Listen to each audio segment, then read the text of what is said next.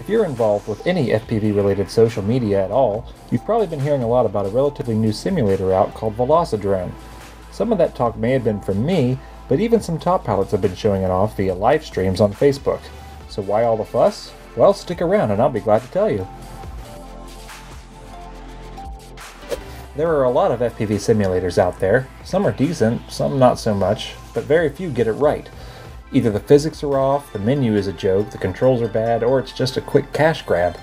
Velocidrone is still pretty new on the scene, but while some other sims are content with made up frames, in spite of a few big name sponsors, or maybe because of, Velocidrone has real frames flying real maps with some really good physics.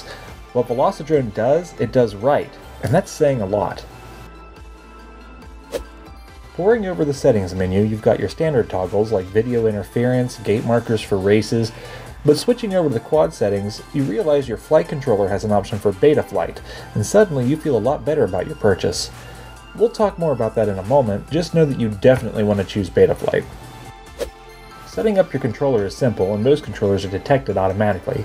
To set your control axes, you simply click them and follow the on-screen instructions. A model on the upper right of the screen demonstrates your actions so you can check yourself as you go. I recommend setting up a switch for race start and reset. Also recharge battery if you plan on using the battery simulation feature. This helps you get used to flying with a time and power limit, though there doesn't seem to be a way to know or change how many amps you're drawing. It would be nice to see this added in the future, as one could then more accurately simulate their normal race conditions. Velocidrone contains both multiplayer and single-player modes, as well as an in-depth track editor.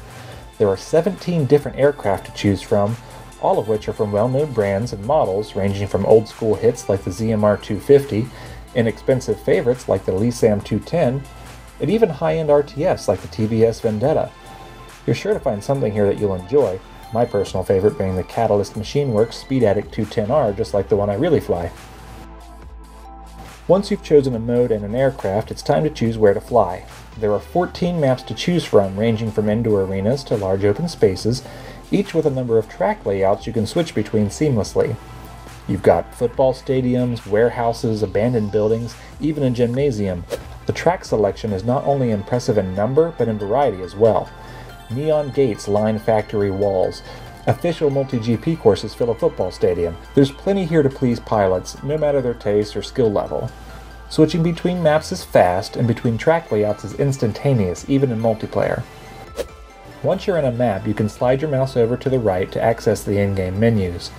The advanced drone setup menu is where it gets good, as this brings up the familiar Betaflight tuning interface. This isn't just a name drop either, Velocidrone accurately simulates the Betaflight code in-game. What this translates to is an accurate representation of your IRL drone in-game. With the right settings, you can create a pretty solid model of what you fly day to day, down to the stick feel, and put in more time on the sticks regardless of the weather outside. Those skills will, in theory, translate to the physical world.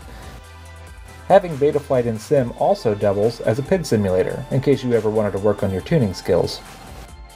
Another settings menu adjusts the physical properties of your drone, such as drag on the front, back, left and right sides, prop size, thrust, etc. Some of these controls aren't exactly intuitive, but through trial and error you can find a match for your real drone. I felt there was too much thrust in game, so I dropped to a lower prop size than what I normally fly. Maybe it's time for a motor upgrade, I don't know. Being a less than stellar pilot, I tend to go for the more open and flowy tracks, Velocidrone lets you jump from freestyle flight to racing with the press of the key or flip of the switch. If you hit a gate while racing, you're placed at the previous one for another attempt while the clock continues to run. Now maybe that's not realistic, but it's a lot less frustrating than taking a walk of shame after every crash. I found myself taking more risks and experimenting with higher camera angles, more or less expo, higher rates. Being able to experiment in a consequence-free environment is a big sell for simulators, especially one that does it this well. If you're tired of racing alone but don't want to show off your skills just yet, Velocidrone does feature a time attack mode that pits you against your worst enemy, yourself. Once you complete a lap, every subsequent lap you'll be joined with a ghost of your best time. It's a great way to monitor your improvement as you pass by yourself, or to cringe at all the times you crashed out of the last lap. Multiplayer is a blast. Whomever starts the room gets to control the map and track as well as start the races. You and your buddies can buzz around in freestyle, jump into and out of races, switch maps, switch tracks, it all just works perfectly.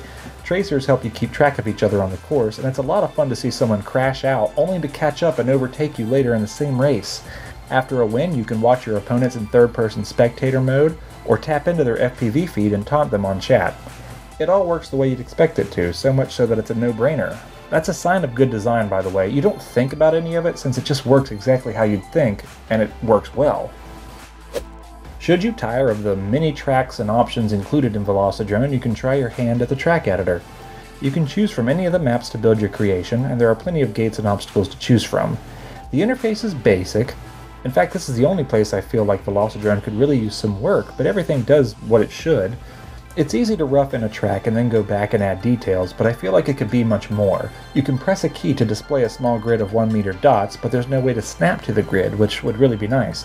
Moving around the map can be frustrating, but it does become easier with practice.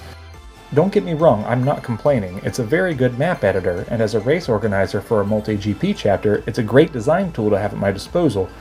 I just hope it gets some attention in a future update.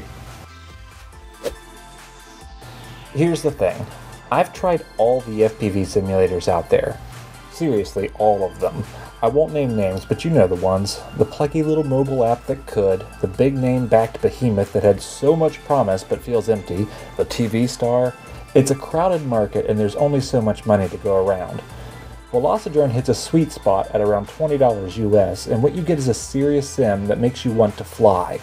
I keep going back for one more lap, one more race, something I never did in the others. Velocidrone feels good. It feels like flight, and isn't that the point? It needs some love here and there, but not where it matters. No, where it matters is where Velocidrone shines, in accurately simulating the feeling and experience of FPV flight. This isn't a video game, this is the real deal. Buy Velocidrone. Seriously, buy it.